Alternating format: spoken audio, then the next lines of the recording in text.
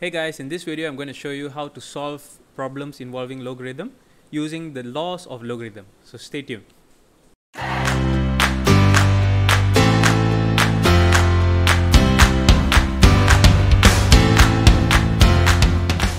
Let's take a look at this question.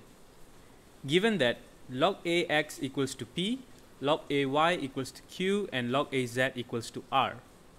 Express log a x cubed z squared over square root of y in terms of p, q and r. Now this is a typical question. First thing we need to do is arrange the information that's given to us. So at the side here you can see log ax equals p, log ay equals q and log az equals r. This is our question. So now it's time to apply the first rule.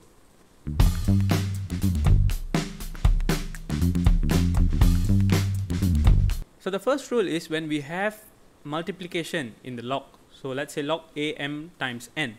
Then we can separate it as an addition of the logs. So this will become log am plus log an. Let's look at our question. So on top here at the numerator we have x cubed multiplied by z squared. Then we can separate it as log ax cubed plus log az squared. Now the second rule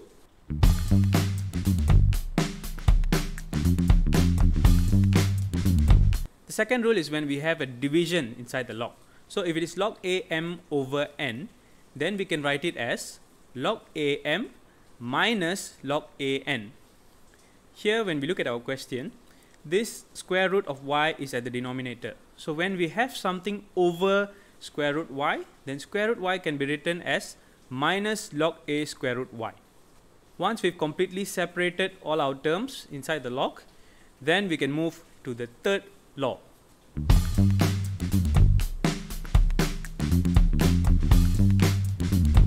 The third law involves a power. So if our term has a power, then we can bring the power to the front of the log. So if it is log a n to the power of b, b can be brought to the front. So this will become b log a n or b times log a n. It's important to note that the power only belongs to n. If the power belongs to the whole log, then we cannot do this. We can only bring the power in front when it belongs to this term inside here. So let's look at our question again.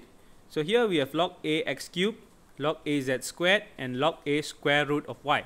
Now we don't want this square root of y because we don't know what the number is to take in front. So we convert the square root to, to the power of half. So to the power of 1 over 2. Now we have all our numbers. These are the b's and what we can do using this law, we can bring the numbers to the front.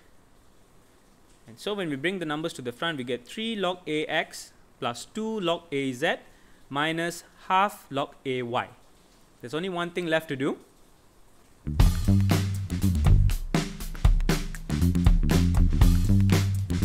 And that is to substitute the values of p, q and r into the equation because the question is asking for us to express this in terms of p, q, and r.